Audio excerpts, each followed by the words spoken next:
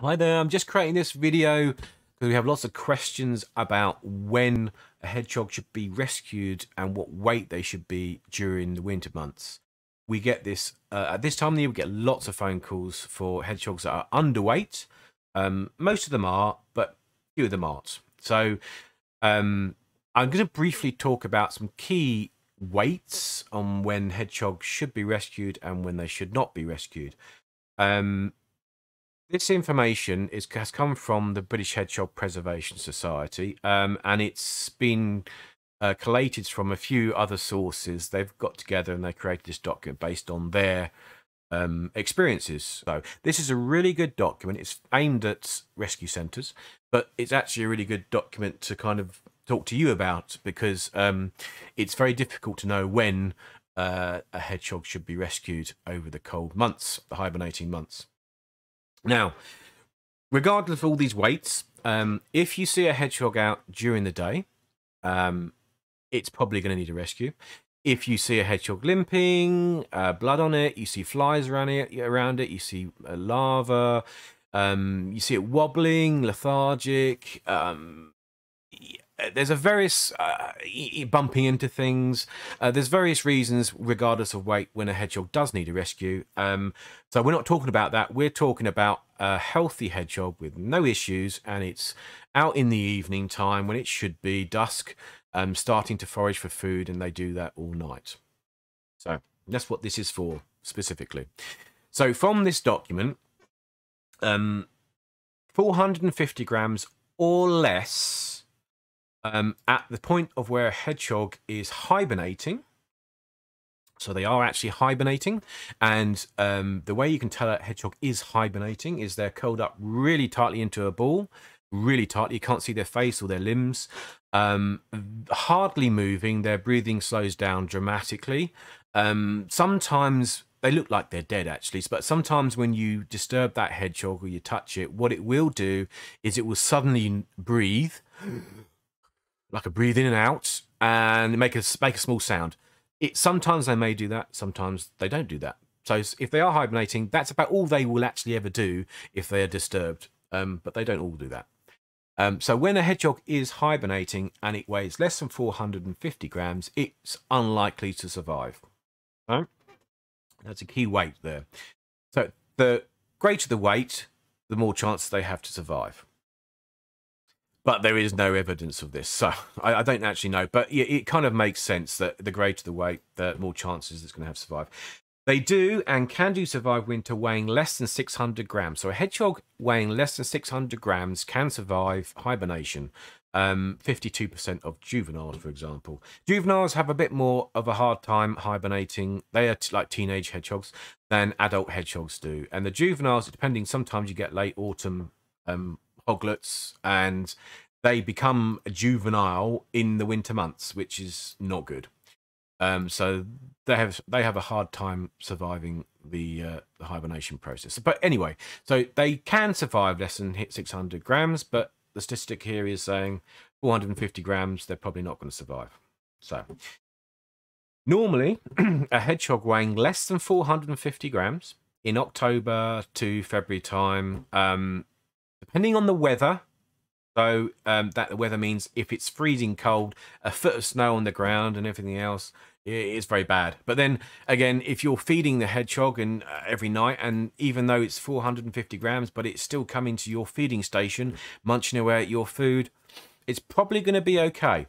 Um, if it's not, it doesn't have any food source at all, it's going to be in a bad situation. So less than 450 grams in October they're recommending it should be rescued. Now, we tend not to rescue, if they're hedgehogs around um, 420 grams and stuff like that, we tend not to rescue them, um, especially if they're, well, at the moment, the weather's not actually that cold, it's quite mild, but especially if they're being fed in a garden, there's no need to, they'll, they'll gain plenty of weight um, by the time it comes to winter, like mid-December, when it's like freezing cold.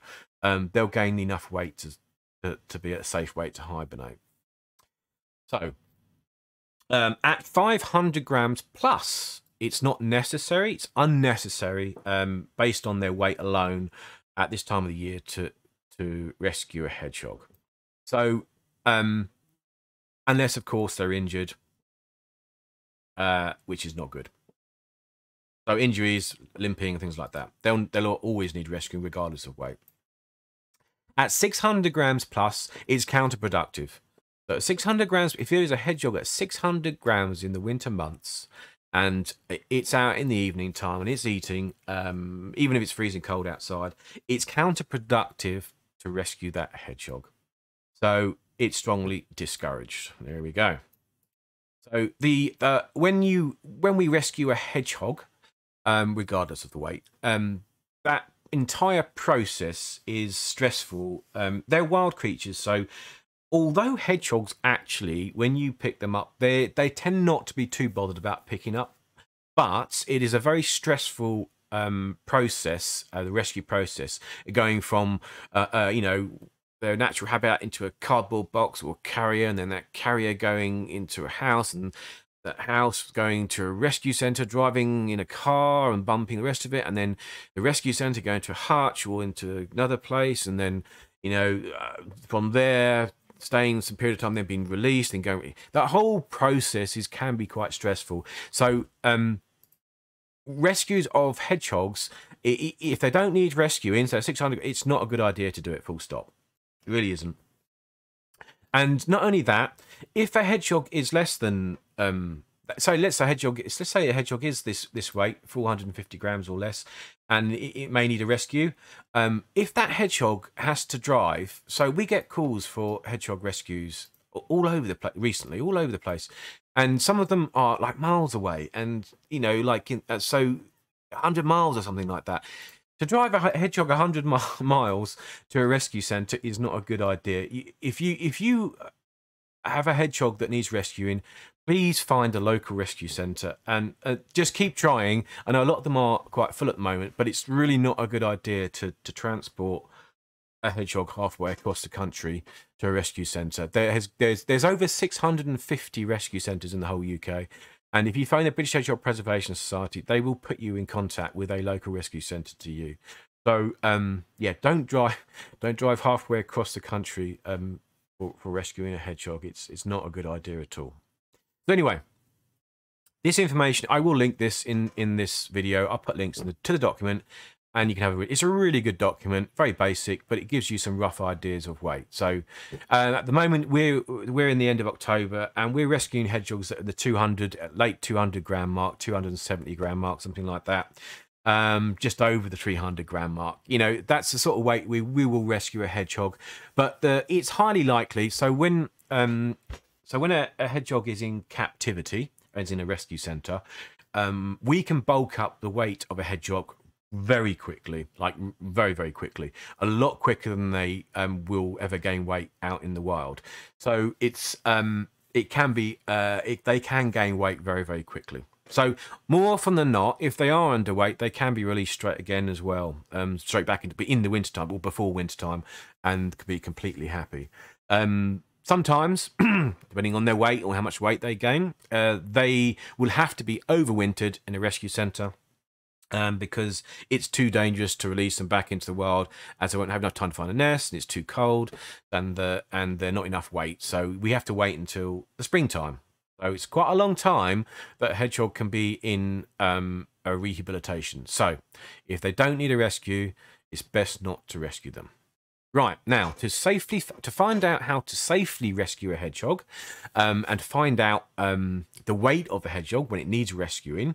If they're smaller than a tennis ball in size when they're curled up, they will need a rescue. That's too small. Other than that, it's very difficult to know.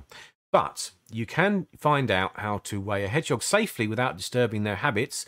And I received an email from Roger recently, and uh, he brought in some underweight uh, juveniles, and he sent me this link, uh, which I have seen this before. And I have seen this done before, but this is actually a pretty good example because what this is basically is um, so Roger has a feeding station in his garden, and on top of the, uh, underneath the feeding station, he has some scales. When the hedgehog goes onto the feeding sta station or the bowl, they tend to, if it's quite a big bowl, they tend to put the whole body in the bowl when they're eating. Um, at that point, they can be weighed, and so um, I think Roger has uh, experimented slightly with this with different scales, and he's come up with postal scales being the best way of doing this. I won't go into the detail about how all this is done, but if you, I will link this article and you can have a read about this, and you can probably even message Roger directly um, through the link I give you. So this is a really good, and here's a video of it. I'll play a small chunk of it. The hedgehog's jumping onto the food bowl. The weight goes up, and there we go. We can see that hedgehog's 514 grams. Great perfect uh, weight for a hedgehog, no problem at all. Having a good munch on the food as well. so, and and the, as far as the hedgehog's concerned, it has no clue it's being weighed or even being videoed as well. So this is a really good way of figuring out whether a hedgehog does need a rescue or not. So um, it's a bit of a uh, a challenge to do this, but I'm sure um, there's other guides. But the one that Roger um, came up with was a pretty good guide. So I will link that. And there's a video on that. There are also alternative ways to, to do this a lot more complicated. And this um, article that's on our website was from a few months back, actually, last January. Um, and this is so there was someone that messaged me, I can't remember how, um, about something. And um, I looked at their website and it was this Wilderhood watch in St Albans. And I saw this hedgehog house that they did a few of. and this hedgehog house, so this is a, um, someone who's voluntarily making these hedgehog houses, and they're putting out a certain location to weigh the hedgehogs. very complicated this, but it looks awesome. I really like this. So this house, um, hedgehog house, has a, the whole of the base of the head house is a scales. So as the hedgehog comes in, uh, there's a trigger because there's a changing weight and um, there's a plate on the bottom of the hedgehog house and then that then registers the weight of whatever is in there hopefully a hedgehog and also takes a photograph of hopefully the hedgehog. If it's something else obviously you'll see it because there's a photograph being taken. It all does that automatically. And it's powered by a solar power. It's wireless connect to like your phone stuff send you a ping on your phone. Um, uh, it's really cool. And um, yeah, so it, it, it's uh, it's really I mean it's done by Raspberry Pi if you know what that is. Uh, here's a cup, you know, he's got an example of a cup in there weighing it stuff. Brilliant, this is very very complicated and probably nothing that sort of ordinary person can come up with. But um, this is brilliant. I really like this. So yeah, so this is another example of how to do it um, without disturbing a hedgehog uh, in their natural habitats as well. So yes, I hope this video was useful. And uh, I hope this answered some of the questions that people have. So thank you very much for listening. And I'll see you soon. Thank you. Bye bye.